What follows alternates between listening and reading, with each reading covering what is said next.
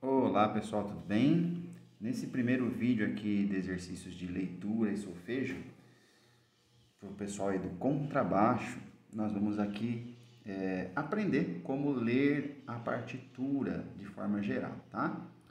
E vamos começar aqui pelos exercícios de cordas soltas, a começar pelo exercício número 1, um, bom? Primeira coisa que vocês devem se atentar ao ler a partitura se é a partitura do contrabaixo, para que vocês possam tocar de fato, tá? Não que não dê para tocar com outras partituras, mas é porque tem a partitura já específica para não ter tanto trabalho de ter que ficar pensando muito e ler, tá? Bom, só dar uma ajustada aqui na câmera. Isso, agora foi. Então vamos lá. Para começar, vocês devem sempre observar o seguinte, aqui na, na, na nossa partitura, deixa eu selecionar aqui, isso nós vamos ter esse conjunto de linhas aqui, ó. Tá vendo? Tem cinco linhazinhas aqui e sempre vai se repetir. É, esse conjunto a gente vai chamar de pauta, tá bom? tem sempre um conjunto de cinco linhas, ó. Uma, duas, três, quatro, cinco linhas. E entre essas cinco linhas tem os espaços. Tanto na linha quanto no espaço pode ter notas, como vocês vão ver ao longo desse treino que a gente vai fazer aqui, tá bom? Muito bem. Isso posto, no início da pauta, da pauta, perdão, ela tem é, sempre um desenho como esse aqui, que é a clave de Fá, tá bom?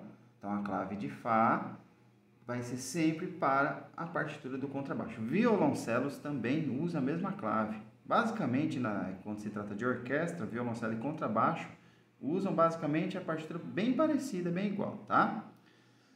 Mas às vezes tem algumas particularidades só para o contrabaixo. Então, por isso tem que estar escrito normalmente no, no, no, na cabeçada aqui da partitura, que nem aqui no lugar de exercício corda solta, estaria escrito contrabaixo, então é fácil de identificar, tá?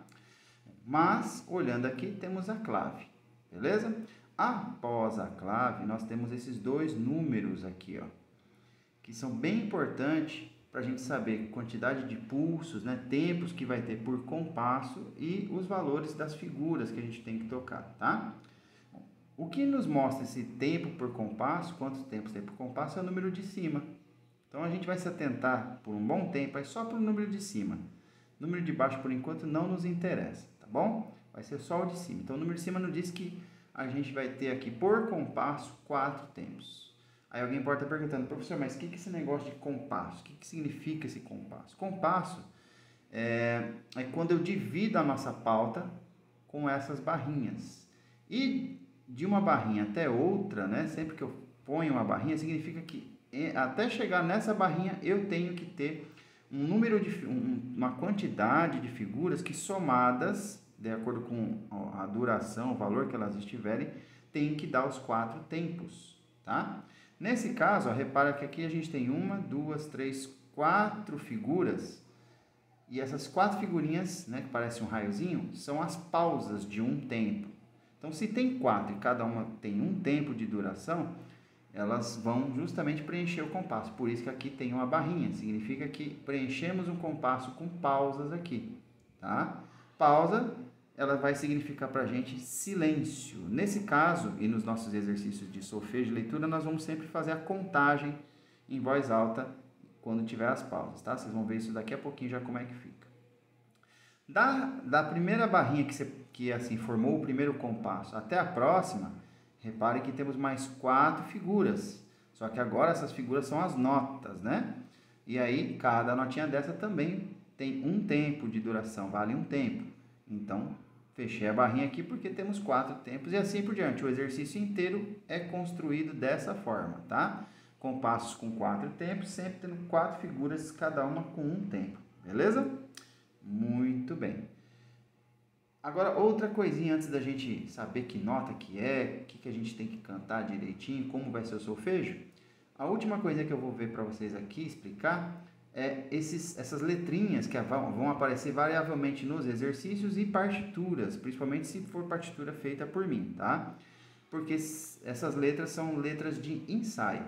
Elas ajudam a gente a se localizar na partitura. Então, exemplo, se o professor em algum momento chegar para vocês e falar, vamos tocar na letra C, partir da letra C. Então, você localiza a letra C e vai começar a fazer o exercício a partir daqui. e segue até o final. Tá bom? Então, as letras de ensaio ajudam. Existem também os números de compasso, a gente vai ver em alguns exercícios da, mais para frente, tá bom? Muito bem. Então, agora, vamos aqui, baixar um pouquinho, isso. Agora, vamos identificar as notas. Já sabemos que aqui nesses compassos, com esses desenhos diferentes né, das notas, são as pausas de um tempo, certo? Muito bem. Agora, as notas, reparem que tem notas que estão mais embaixo da pauta e tem notas, como aqui na letra D, que estão mais em cima na pauta. O que significa isso? Quanto mais embaixo, mais grave. Quanto mais em cima, mais agudo. E no instrumento, isso reflete no que por enquanto? Como é o exercício de cordas soltas, cada bolinha aqui na altura que vai estar vai representar uma das cordas do contrabaixo. E é isso que a gente vai ver agora. Então, isso que a gente está fazendo ainda é análise e leitura da partitura. Daqui a pouco vem o solfejo, tá? Muito bem. Então aqui na letra A, a bolinha, olha bem como ela está. Ela tem a bolinha e um risquinho bem no meio dela, certo? Essa vai representar a nota Mi e por consequentemente a corda Mi do, violon, do violoncelo, não, perdão, contrabaixo, tá? Do contrabaixo. Então, corda Mi do contrabaixo vai ser sempre essa bolinha abaixo da pauta com risquinho no meio. Grava bem isso. Na letra B, ó, repara que a bolinha subiu, está no primeiro espaço dentro da pauta. Lembrando que a gente sempre vai fazer essa contagem das linhas e do espaço da pauta de baixo para cima, para representar justamente a questão de graves e agudos. Graves embaixo, agudos em cima. Então, essa bolinha tá no primeiro espaço, vai ser a corda Lá do contrabaixo. Na letra C, nós temos a bolinha bem no meio, tá vendo? Por isso que eu disse que pode ter é, notas no espaço ou notas na linha, tá? Essa tá na linha do meio, vai ser a corda Ré do contrabaixo.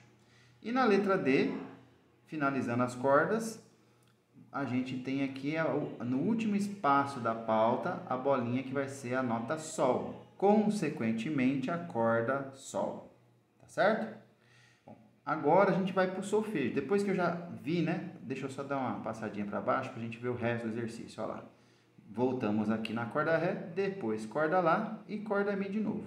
No solfejo que eu vou mostrar agora nesse exercício, eu não vou fazer inteirinho, eu vou fazer só até a letra D, tá bom?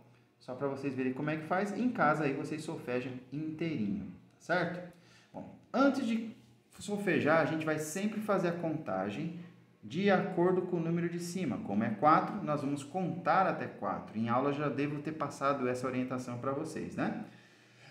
Então a gente vai fazer a contagem. Quando eu contar, eu começo a fazer o solfejo a partir do primeiro compasso aqui. Como temos pausa, aqui o primeiro compasso inicia-se com contagem também, tá? Vamos lá? Para contar, você pode, é, pode não, na verdade, na hora do solfejo e tudo mais, eu recomendo você ou bater palmas pode bater na perna também, tá? Para que você tenha noção sonora e também de movimento do pulso, do tempo que você está marcando, tá bom? Valendo. Um, dois, três, quatro. Um, dois, três, quatro. Mi, mi, mi, mi. Um, dois, três, quatro. Mi, mi, mi. Um, dois, três, quatro. Lá, lá, lá, lá. Um, dois, três, quatro. Lá, lá, lá, lá. Um, dois, três, quatro. Ré,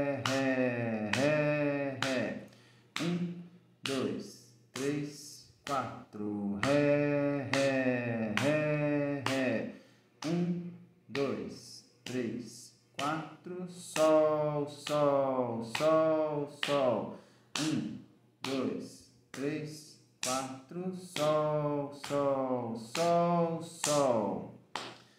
O exercício, depois disso, continua na letra E, F e G, né, para terminar. Você deve concluí-lo aí em casa. Isso aqui, nesse primeiro momento, é para a gente aprender como é o, a análise, a leitura da partitura e o solfejo. Sempre façam dessa forma, analisa certinho que nota vai ter, que nota não vai ter, é, se tem pausa, se não tem, tá bom? E aí solfejo. Volte aqui o exercício, faça junto comigo, depois continue até chegar no final da página, tá certo? Muito bem, até o próximo vídeo.